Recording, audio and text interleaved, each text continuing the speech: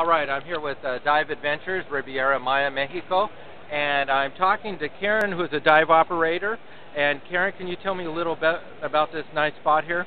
Yeah, super. Our our spot is really unique because it has so much diversity. Uh-huh. We've got excellent reef diving, very typical Caribbean reef diving, easy diving, uh, we've got the cenotes, which are world-class diving experience and unique to anywhere in the world. Anybody can do it, even an open water diver can do it. Uh-huh. You don't have to be specially trained. In the summertime, we've got whale shark excursions that are guaranteed that you will have a whale shark experience. That's pretty unique. That is. As well in the winter How do you get the whales to sign that agreement? Yeah, I know. It's a, it's a locked-in contract. Okay. Anyway, and and in the wintertime we have sailfish excursions.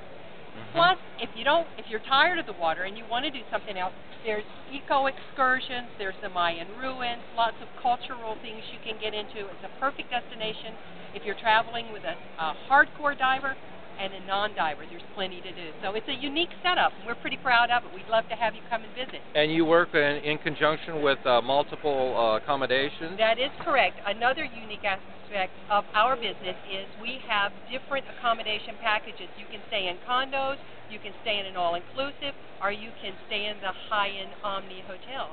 So lots of go. options. And then these are some of the dive sites that they would see if they went there? That's right. We have dive sites. Most of them are within five to ten minutes boat ride out of our marina. So there's not a lot of time getting to where you're diving. There's a lot more time under the water diving. Or relaxing or on the beach? relaxing on the beach. Well, thank you very much for your time.